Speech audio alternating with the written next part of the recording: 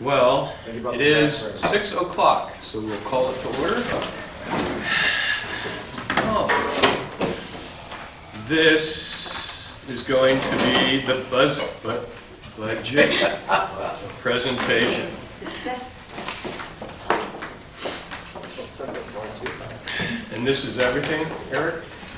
The whole ball of wax, we're all ready to Well, go. It is and it isn't. Yes, it is the ball of wax from an operating standpoint for the year. What's not in here, uh, which will be presented in May or possibly June, depending on the commission, is going to be Measure A. Okay. Uh, But Measure A is kind of its own self-fund, uh, but we'll have a work plan set for that prior to the beginning of the fiscal year to be board approved. Do we have any idea up or down? Um, Yes, I actually just got communication from the county yesterday. I anticipate, uh, they, I don't, they anticipate 87,000 to our agency next year for Measure A. So, up, it's been s- going up slowly every year. Okay. Sounds good. Yeah, It kind of goes hand in hand with consumer confidence. It's 100% a sales tax uh, measure. More people spend, the more it comes in. 2017, 2018, 87,000. Yep. And then the only expenditure we've made on Measure A this year is the truck. Beautiful truck. Yeah. Okay. Um, I, you know, many of the notes that I included on the first page were the same from the last time. I just left them in there. They're more some chart of account clarifications.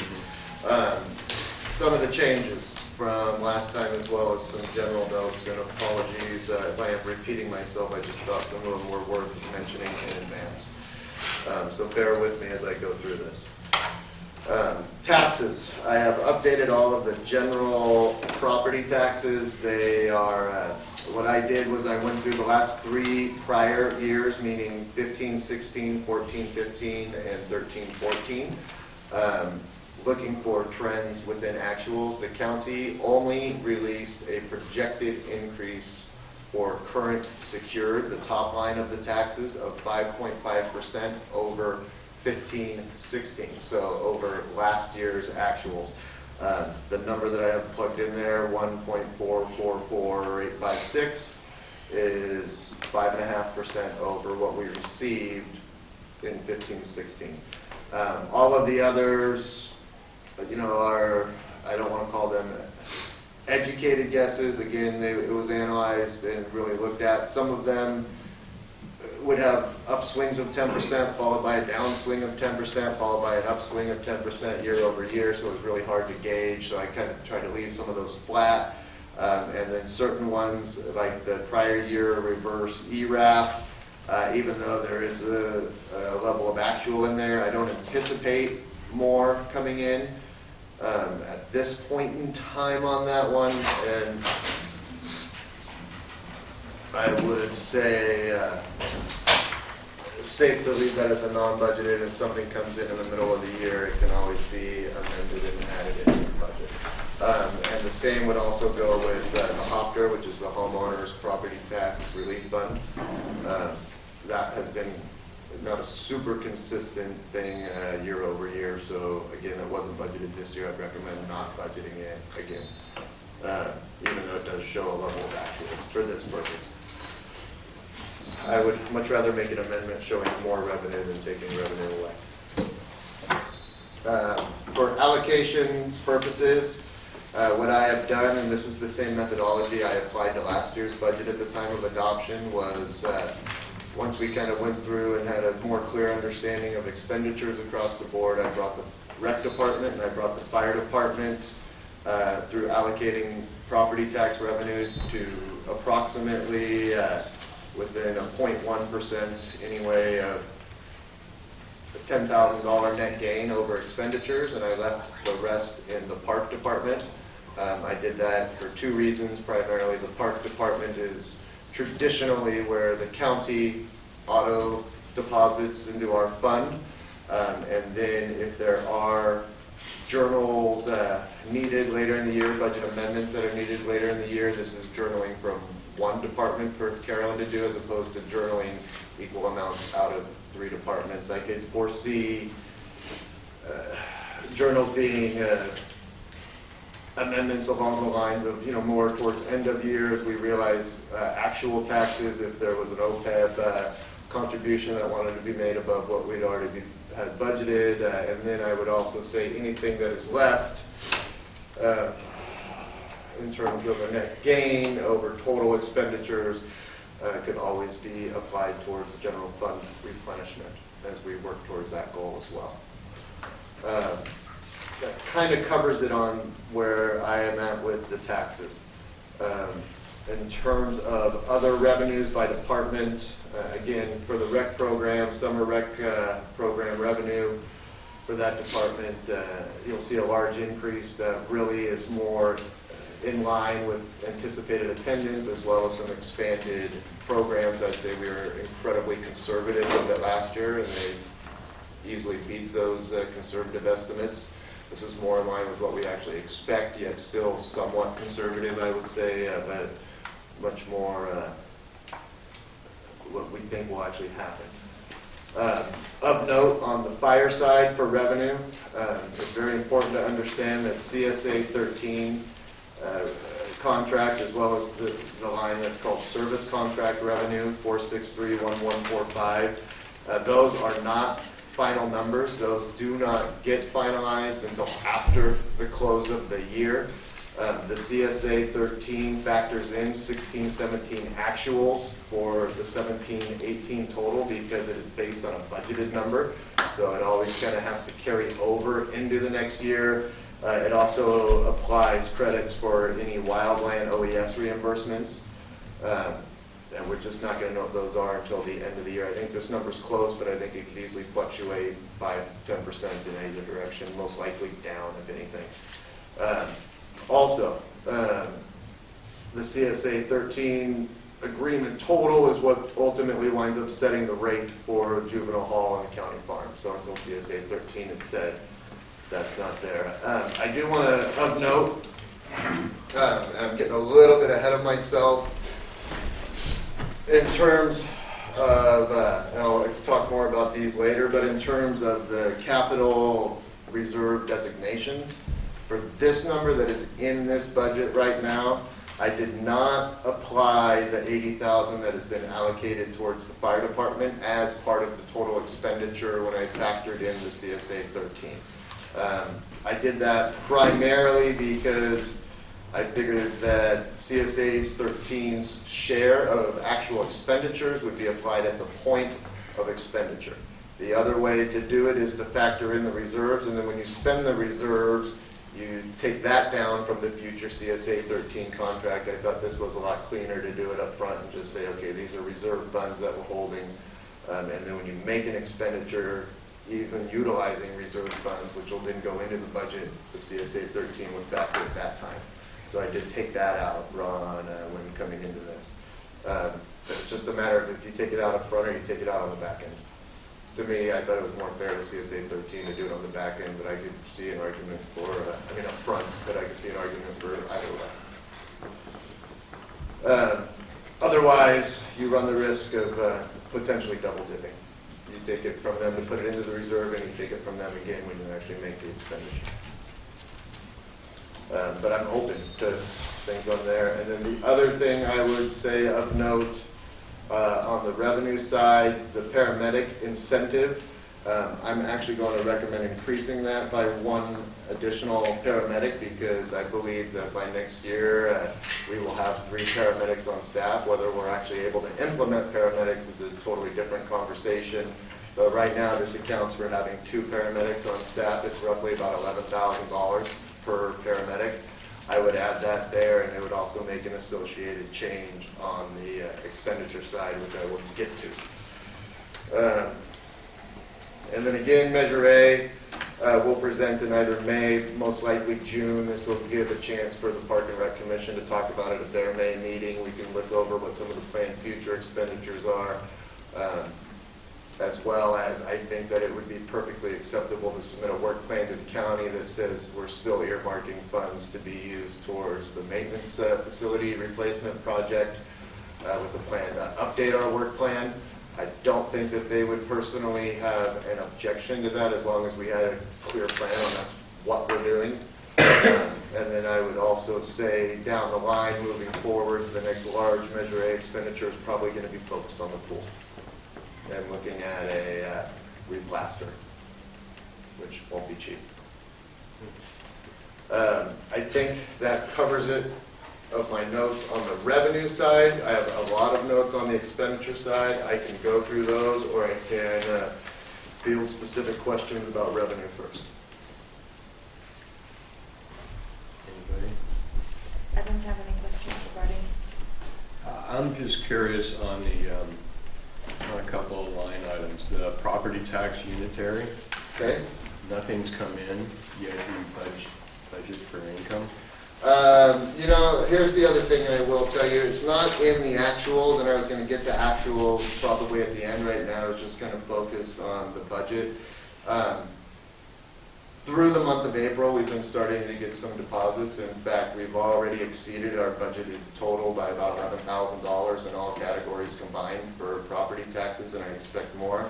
Uh, in unitary, we have received just under five thousand dollars um, in the month of April. Uh, In looking at it in past years, this is when it starts to trickle in, and it's going to come in all the way up until June 30th, if not even in through July, credited as a prior year. What is the unitary? That's a great question.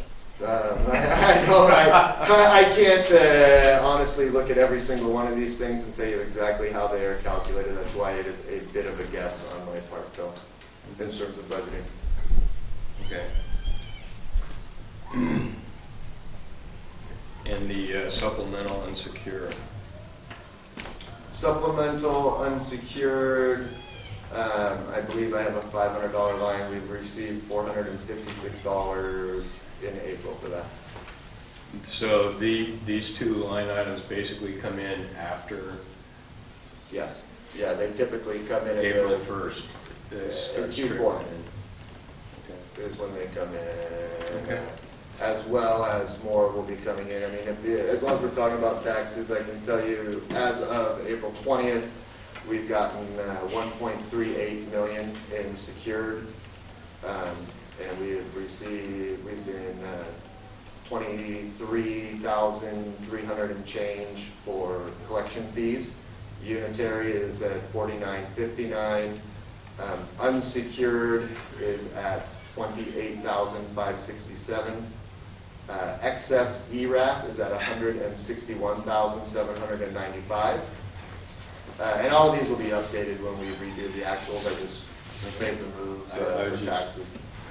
Um, That was in there. So uh, excess ERAF is actually at fifty-eight hundred and change. Um, Supplemental, we received twenty-one thousand five hundred. Uh, Supplemental unsecured, four hundred and fifty-six.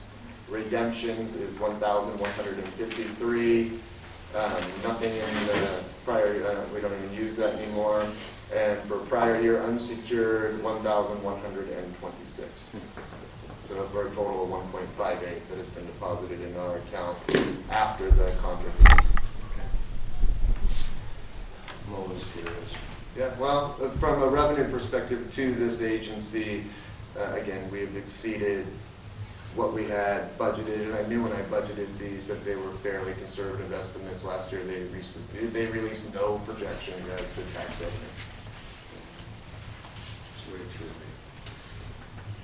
All right, I'm done. Anybody Okay. else? From the public? Yeah, uh, well, uh, first, uh, I'm looking at the agenda, you didn't have open time at the beginning of the meeting, and I believe that's required under the Brown Act. Open time for public comment uh, on non-agenda items is not required for a special meeting under the Brown Act. Okay, so there, you don't want any general commentary. You, you guys do understand what being a public agency is and having public meetings, right? It's to actually engage the public, and even though there's a couple of us here, you're also being recorded. And uh, you do need to be responsive to the public. But uh, I, I had some questions concerning your presentation. So uh, the property tax is I, I just want to understand. this. This is only for half the year, right? What's that? The revenues. Are you s- saying the full, full revenue for 16, 17 was 2.6 million?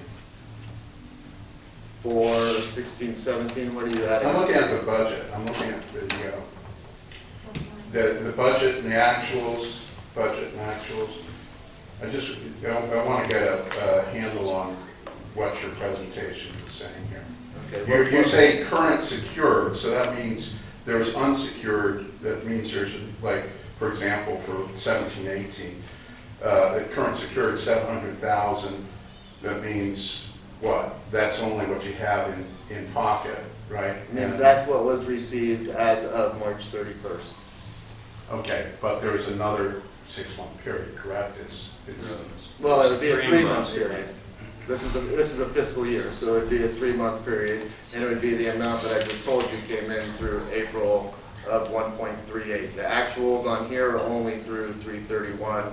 These came in uh, as of April twentieth.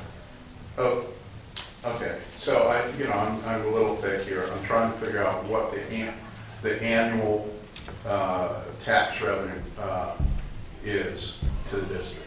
Right now, we, Estimated. Right now, not estimated, what's actually coming in. No, I don't want, I don't want what you have in the pocket. I want to know what the full picture is. Okay, well, Is this that, is that a fair question? Uh, I'm not sure I understand what question you're asking me. revenue for the year, the tax year, what would be the projected um, and secured For which year? amount for, st- well, I guess it would be 17, 18, let's see, 17, 18 starts in July, so let's, let's just talk about 16, and 17. We haven't received everything yet. Okay, do you want to answer the question? Does anyone want to answer the question? I thought it was very clear what I asked. Okay. It appears to say one million, three hundred and seventy-two thousand, nine hundred and sixty-seven dollars is the estimated current secured for the, for this fiscal year. Okay, could, so how much are we going to bring in in a year's time? How's that? That's it's a real simple question. In this fiscal year or in next fiscal year?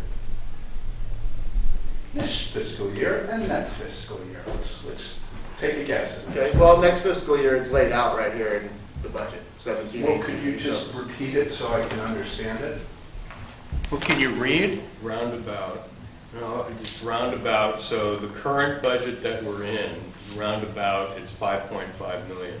5.5 million. I thought it was, Bottom. uh, yeah, I thought That's it what was. the budget was. Okay, that's what I thought it was. Thank you. Eric, I th- thought it was a very straightforward question. But that, The, the budget that we're proposing, the 17, 18 that starts July 1st, we're going to 5.7. That's what we're projecting. Okay. It- The way that it, it appears to, uh, you know, someone who's not a financial guy, is that there's a lot less uh, revenue coming in than actually is coming in. Okay, and so what, the way that you've totaled figures. The middle, the middle column that you're looking at on the front page is the actual money that has arrived in our doors As of That's- March thirty-first. as of March 31st. I understand that. Okay. Okay. But I assume we're going to live throughout the year, and we're going to get revenue throughout the year. I'm assuming that it's coming in currently. Okay. All right. Thank you. Anything else? No. Ron? Well, I'd like to make a comment on the fire department budget, or you're gonna do the department budget We haven't done the expenditures yet. Right now, I've just gone over the anticipated revenues, I'm gonna hit expenditures next, so I might answer your question first. Well, as I mentioned uh, at your last meeting, uh, CSA 13 has a serious question about uh, the $40,000 projected legal costs uh, for the fire department.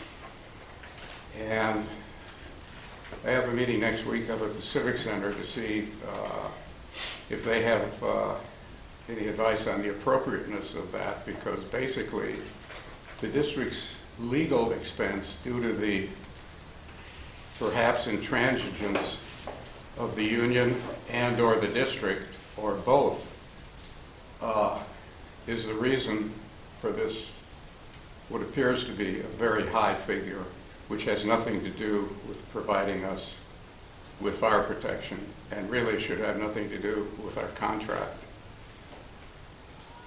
So I would like uh, a provision or a footnote or something next to that $40,000 that uh, CSA 13 share of that, which would be $10,000, 25%, uh, we intend to uh, protest that on the basis that uh, it has nothing to do with uh, our contract.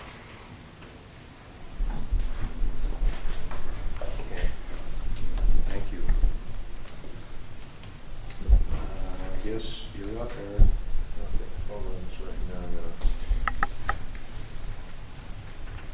Okay, on expenditures. Um, District-wide, kind of going through a few of the lines and in order of appearance. Salaries, this includes the uh, two percent increase that I proposed last meeting for the fire chief, for the rec director, and for the senior administrative assistant. Again, total burden cost for seventeen eighteen. Uh, Operating would be a little under seven thousand dollars for that. Um, The OPEB, and it also is incorporated into any ancillary line there too, PERS, um, workers' comp, so on and so forth. It's all represented in this budget. Um, OPEB trust, uh, sixty thousand was recommended by the board, Uh, ultimately it was five thousand dollars per month. Um, I allocated that across each department uh, in accordance with current retiree health care costs by department. So I went through, and looked at what we're paying for current retiree health care, what departments they're allocated to, came up with percentages, and then times those percentages by the sixty thousand that go towards each department. Um, Workers' comp, large increase is due to the rise in our experience modification factor from 166% to 233%. Um, Consultant fees, I've talked about this before. Um, This consists of GASB 68 reports as well as some accounting consulting for reconciles as recommended by our auditor. Um, Memberships and dues is uh, primarily our CSDA, California Special District Alliance membership, uh, as well as some department specifics. Um, Long-term debt, the large decrease is due to the fact that we have all but paid off the building loan that was taken out when the community center was remodeled. There is one more payment to go that'll happen in seventeen eighteen. However, that payment will come out of a mandated reserve fund that was established when the loan was taken out. um, That they actually control directly, so any excess revenue from that when this is done due to interest collection will actually come back to the district. Um, And then capital reserves, one hundred thousand dollars was recommended by the board. Um, When we were going through and analyzing capital reserve needs, we looked at them by department. Um, Current capital reserve needs, and this would be something that would change on a year-over-year basis, um, puts roughly eighty thousand dollars of that towards the fire department and twenty thousand towards the park department. And that's how it was allocated for now. That can be changed. Uh, Rec will certainly come in in future years. However, current needs that we have identified, we also have uh, identified as potential, if not likely, candidates for Measure A funding. At which point, once those are replaced, they would start being depreciated from a capital needs perspective, and those allocations would go towards uh, any future capital reserve designation. So for this year, that's why the rec department doesn't have anything allocated for capital reserves in their department. Um, It simply went by an internal spreadsheet that we all kind of put together.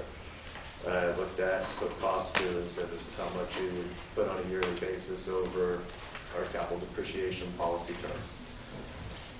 Um, For the park, um, water and sewer, uh, even though we've had increased rates, uh, they are offset by several unused meters that have been shut off, um, that they started applying very large monthly fees towards.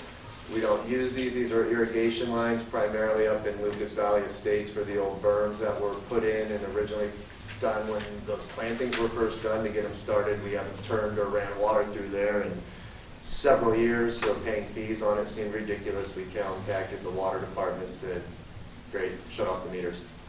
Um, And they did. So there goes several hundred dollars of fees every other month.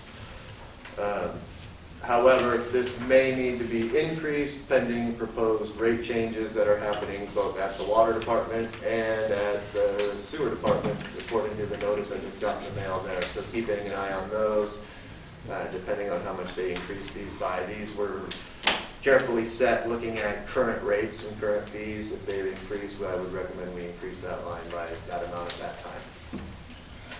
Uh, But right now, we don't know exactly what it is. And then for the park expenditure for equipment maintenance and replacement, that is almost entirely consisting of playground equipment at all three different ones, not replacing an entire playground, that's much, much more expensive, but as individual pieces break, uh, they're not incredibly affordable to replace because they're usually proprietary and hard to find. Um, On the rec side, as far as expenditures go, salaries, part-time, uh, sees a large increase, however, that's also in direct correlation to our increase in revenue from program participation projections. Uh, If uh, program participation isn't there, neither will be the amount of staffing, but the more programs and the more kids we serve, the more staff you need to do, and that's why that line goes up. Um, PERS has a, from a percentage standpoint, a seemingly large increase. Um, They did bear the brunt of uh, a lot of the UAL increase for classic miscellaneous employees. Um, I used the methodology for that in looking at all total payroll costs for that category and taking those percentages, applying them to park, taking those percentages and applying them to rec. So rec was at about fifty-six percent of total payroll cost for that, park was at forty-four. As a result, they took on fifty-six percent of the unfunded accrued liability expense, which had a twenty thousand dollar year-over-year increase for classic miscellaneous employees. Uh, Marketing includes all costs associated with the reviews, plus other marketing efforts such as banners and printings, uh, and also the share of the website. Um, And when I say all costs, it includes mailing as well as printing. Um, Water and sewer is going to be the same thing that I mentioned for park. You have pending rate changes that are happening, so that could very well be a line needing to be looked at because their rate changes that are being proposed are pretty steep on both sides. Fire. Um, Salaries right now are completely pending negotiations. These has not been factored in whatsoever.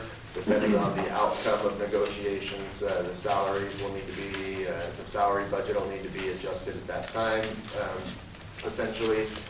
Uh, Also, uh, I do need to adjust salaries prior to adoption. We recently learned, and I can say this out loud because I got confirmation that uh, it has at least been accepted by CalPERS of uh, an anticipating retirement of one of our firefighters, um, actually one of our captains, so that will be most likely on the agenda at the next meeting.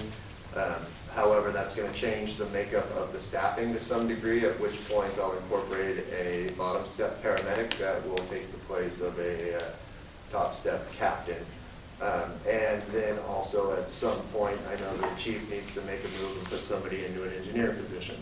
Um, So that will be factored into, and I'll try to get that a little bit closer. But since we have this knowledge and we know that up front, I will make those adjustments. So that will change slightly, and I actually expect total salaries for the year at least to go down a little bit, but that person will be back into a step system too. So um, FLSA could very well change, uh, kind of depending on any decisions about regular rate calculations that come out. Um, This does not account for uh, potential of uh, the lawsuit outcome, Um, so that is not accounted for in here. Um, Overtime, uh, looking at actuals, I know it's very much different. Uh, This is kind of a historical figure that we've used for the last few years. However, I also think that once the chief can get back to full staffing, I think the retirement of uh, one of his firefighters as well as his other long-term injury coming back should actually help to greatly reduce his overtime burden. Um, Legal is based on current as well as anticipated. Uh, We'll obviously monitor this throughout the year. It could change dramatically up or down depending on how quickly uh, this uh, lawsuit is able to progress and either be uh, settled or decided upon by an administrative law judge. Um, Then the other big thing that is not accounted for in here, either in 1617 or 1718, is the kitchen project.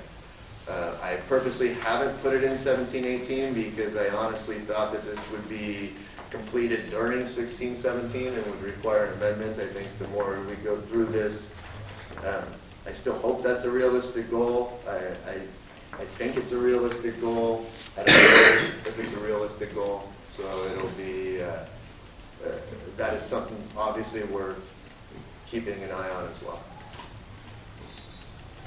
And I think that goes down the line for budgeted expenditures.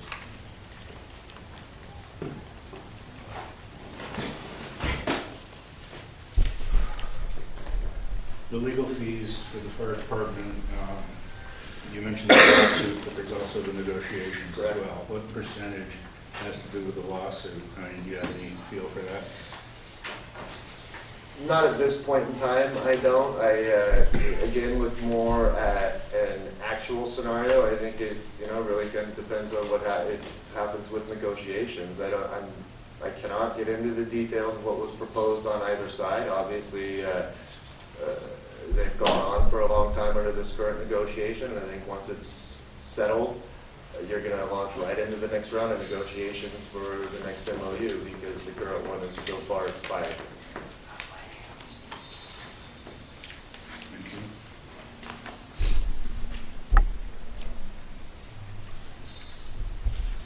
Answered that question.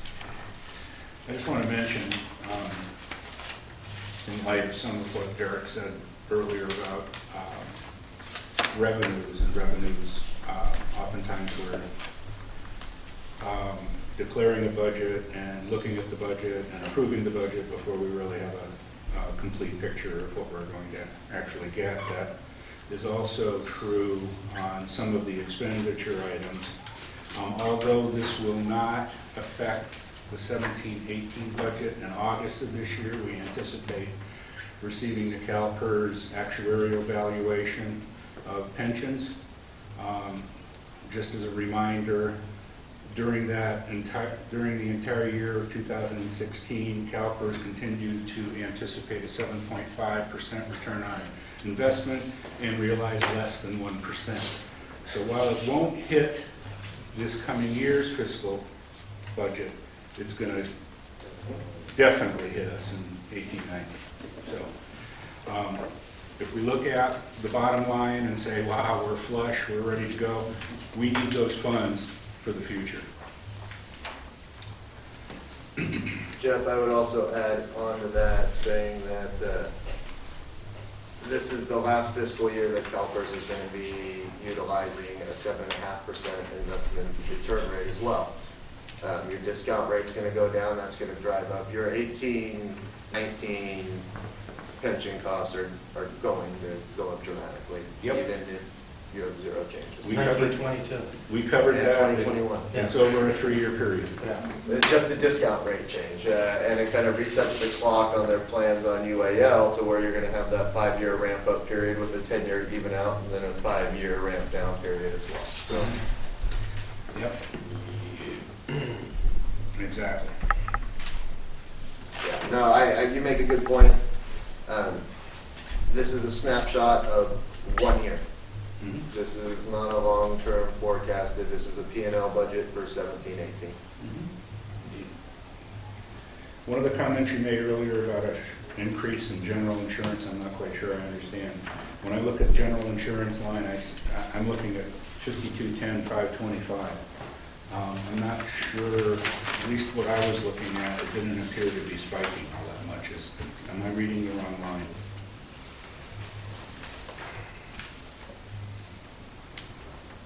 Um, was it, is that a comment that I made today, or? or- No, no, in, I think in it was- it was- budget notes. He was talking about workers' comp insurance, which is five one four zero one one five. That would be more, that would be what I would expect as well. Yeah, Okay, so not general insur- insurance, it's workers' comp insurance. Yes, And that's something you talked about earlier in the meeting? yes. Yes. Okay, thank you. Just wanted to clarify.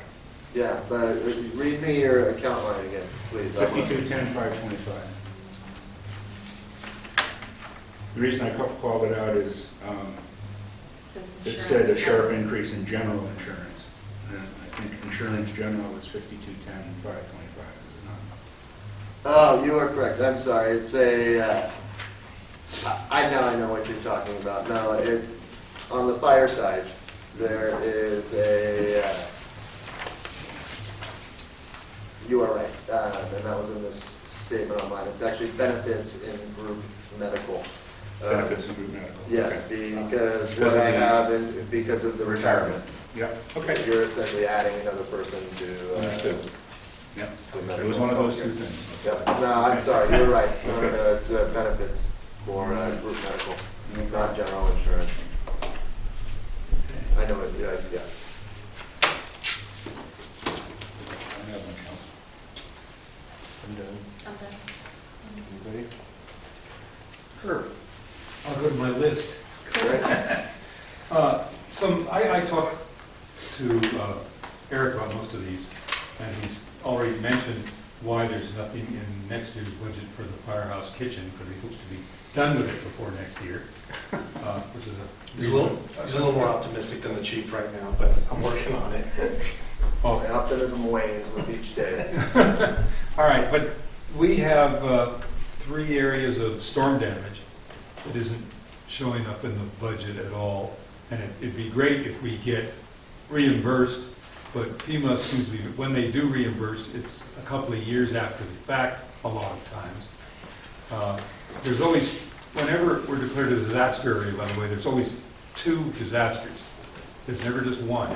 The First disaster is the storm, the second disaster is FEMA. Oh, you're fine. And I I have that from many years of past experience dealing with it. In any event, it seems to me that some money ought to be budgeted for at least the consultants to get on with the design work of the two creek bank issues, uh, the by the pool building and by the field and the Ponte Fire Road, so that when, I don't know if you've gotten yet your proposals back from Miller Pacific or anyone else, but uh, I, I have no idea the magnitude of them, but uh, most likely, at the rate things are going, you wouldn't have to pay them till next fiscal year anyway, but it seems like there ought to be something set aside for that. Maybe even something for some of the actual work. I don't know, because you're going to be advancing it if FEMA's going to pay for it. If they aren't going to pay for it, you're going, to we're going to be paying for it. So that, that's one area. So would that be capital reserves that I could think put the so. money into? Yeah, I mean, Um, I don't think it would be capital reserves. Um, to Irv's point, I think work needs to be done during the fiscal year. Uh, I have a meeting on Thursday with representatives from FEMA as well as Cal State OES. Uh, Chief and Shane are going to be joining me. It's what they refer to as their kickoff meeting. I'm actually expecting a lot more information to come through from that, uh, as well as an understanding and development of a project list. And the three projects that you just mentioned would be the primary ones.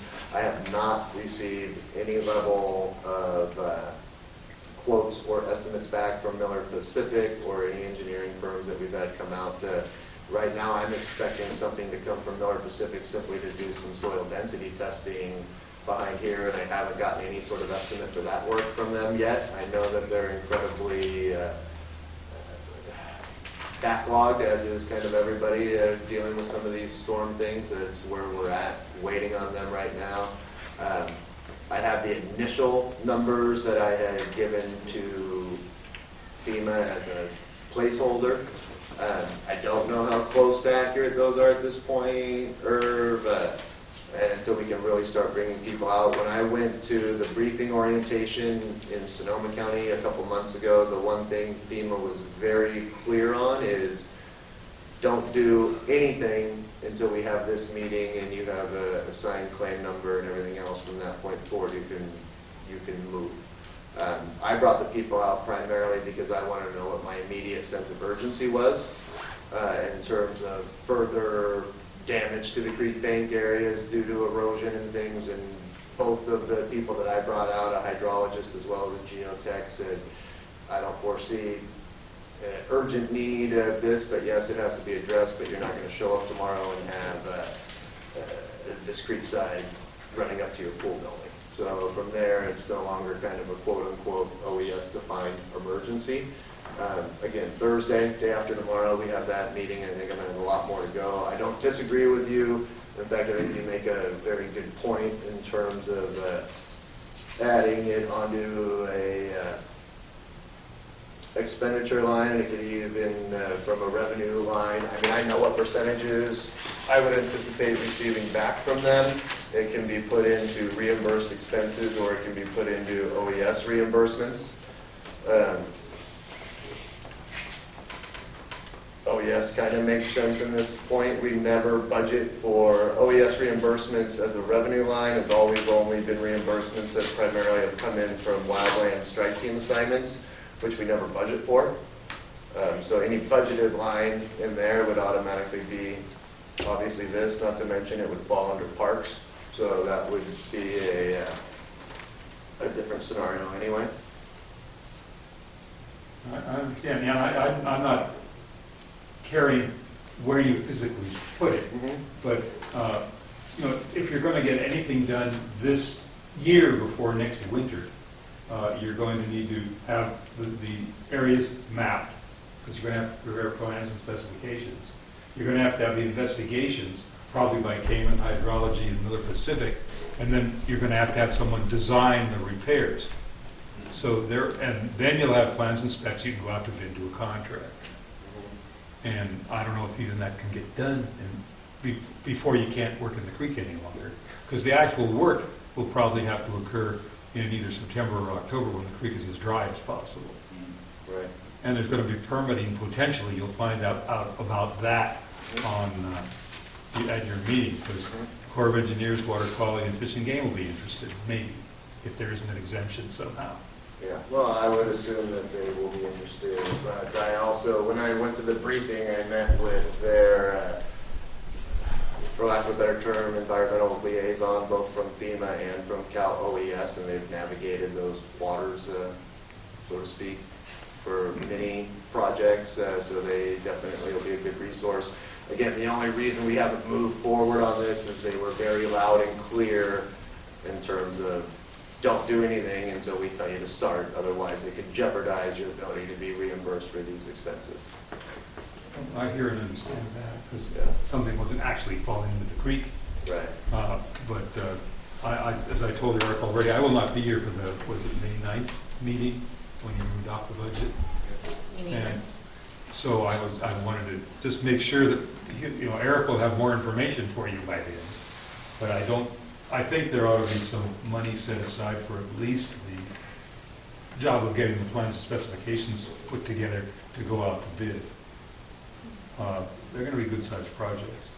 The, the other item that I was wondering about is we have confidential negotiations with the union, so we can't talk about what anything really is. But it seems to me that it might be logical to put some kind of a placeholder amount of money in the budget. Because we're pretty sure the negotiations will not end up in a reduction in costs. Uh, And, and it seems to, you know, it- I don't know, unless it, it takes away from our ability to ne- negotiate, uh, I just, it So That, that was done in previous years, or not to interrupt, some point the board took the position that it kind of tipped their hand, and they removed it. So that you have is put in as a contingency for salaries in previous budgets. This goes back 15 years, but Just something I was wondering about, like I said, I'm not going to be here at the next meeting, I don't know if, it- if you want to bring the subject up, but just a thought. The other thing I would say is once those negotiations are closed announced in a public setting. You can amend the budget at that point in time as well.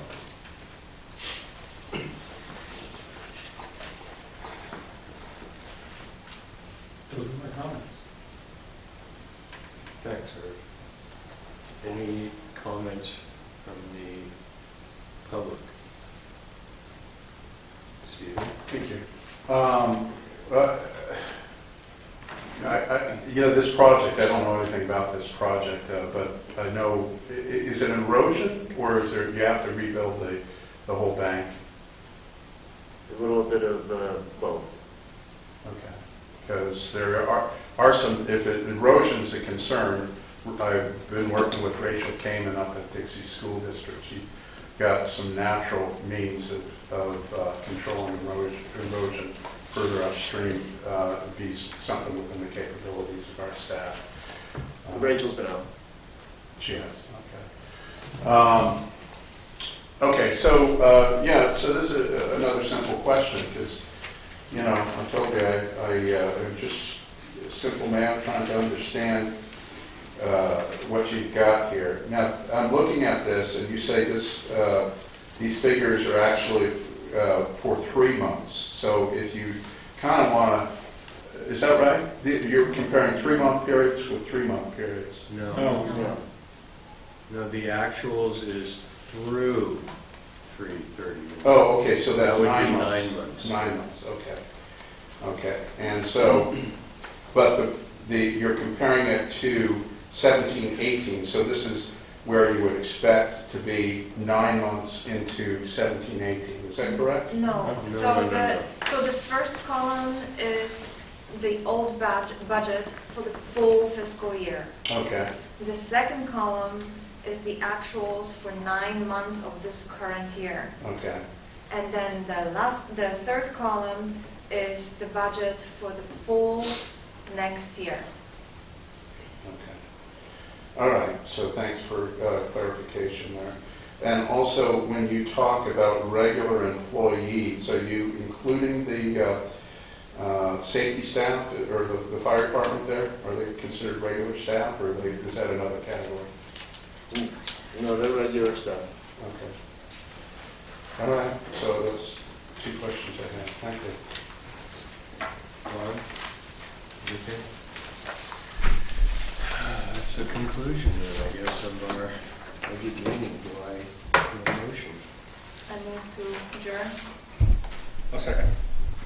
All those in favor? Aye. Aye.